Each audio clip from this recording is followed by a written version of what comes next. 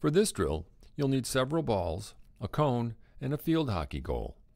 If you don't have a field hockey goal, then you can set up cones or other objects to simulate a goal. To start, control dribble the ball forward several feet. Then, keep the ball on the stick while it's in the middle of your body and drop low to the ground.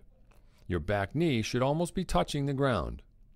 Flick the ball forwards and follow through with the stick across your body. Reset and repeat the sequence. For this drill, aim to shoot in different areas within the goal.